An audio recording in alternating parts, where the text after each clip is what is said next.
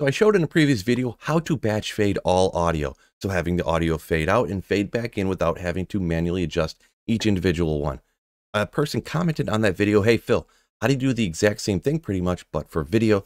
And that's what I'm going to show you today. I'm going to go ahead and get out of the way just to make sure you don't miss anything. Now, first up, all you got to do is hit the like button and subscribe up to help out a little channel like myself.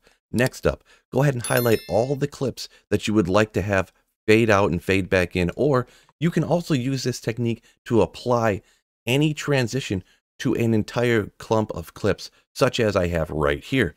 Now that I have it highlighted, all you have to do is come up to the video transition area up in the toolbox, and you can select any transition you would like. It really does not matter, but we're going to go dip to color dissolve because this is essentially what the commenter was asking for. Right click on the transition you would like and click add to selected clips endpoints. Now go ahead and zoom in. You can see it right here. All of these clips now have a fade to black and fade back in at the end. There you go. It's that easy.